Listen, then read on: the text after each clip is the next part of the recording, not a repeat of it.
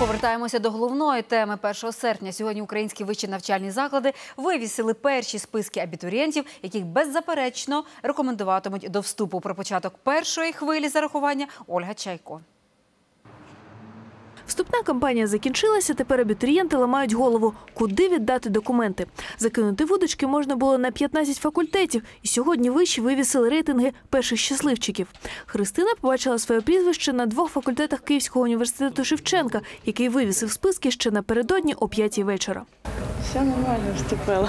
Та потрібно їхати додому, збирати речі, шукати квартиру, співмешканців. Ну, в принципі, таке переходити в доросле життя. Сьогодні подала документи на рекламу в інститут журналістики. Туди було 55 людей на місце. Та для університету Шевченка це ще не аншлаг. За можливість вивчати туризм на географічному факультеті б'ється 900 людей, тобто 90 абітурієнтів на одне місце.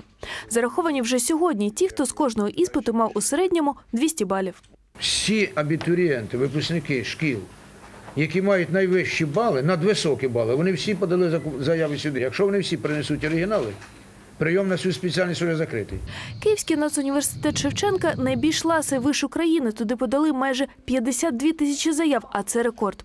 Далі столична та Львівська політехніки, Львівський університет Франка та Київський авіаційний університет. Є менш популярні заклади та спеціальності, і саме їх у другу хвилю з 5 до 8 серпня зможуть обрати решта абітурієнтів. Вони використовують всі свої спроби подати документи в багато навчальних закладів, використовують ці спроби, потім сидять з цими оригіналами і грають в лотерею. А де я пройду на бюджет, де не пройду на бюджет. Профільний міністр вважає, така лотерея допоможе побороти корупцію. Сприяє цьому інтернет, яким скористалася майже третина абітурієнтів.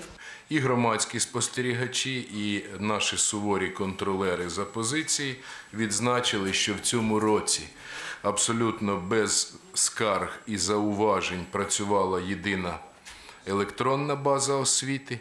11 серпня оприлюднять остаточні накази про зарахування. Однак стати бюджетником зможуть або ж дійсно найкраще, або ж справжні щасливчики.